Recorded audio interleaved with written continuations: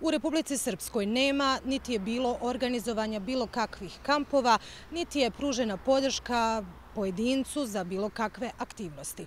Ovo je poručio predsjednik Republike Srpske Milorad Dodik eh, nakon eh, sastanka koji je održao danas ovim povodom sa zvaničnicima eh, sa državnog i entitetskog nivoa.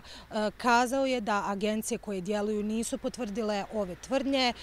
Također rekao je da ove tvrdnje su dio hibridnog rata protiv Republike Srpske i kako je naveo da one idu ka rušenju Republike Srpske i njenog njenog rukovodstva. E, takođe također je rekao da će zatražiti od nadležnih institucija da se pokrene pitanje e, odgovornosti. E, takođe također dodao je i da su zatražili da se u Republici Srpskoj daju informacije o tome ukoliko zaista postoje kampovi gdje oni postoje, te da će ih oni sami uništiti.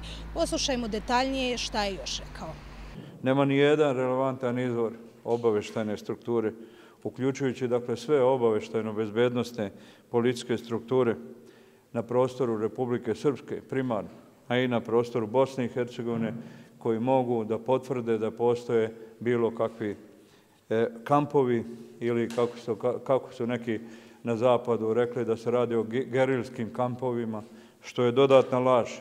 Zar neko vjeruje zaista da je sve te službe su izbjegnute i da postoji tako jedna sinhronizovana i organizovana aktivnost koja sakriva, sakriva se od strane veoma prisutnih obaveštajnih agencija na ovom prostoru, javnih i tajnih koji ovdje postoje.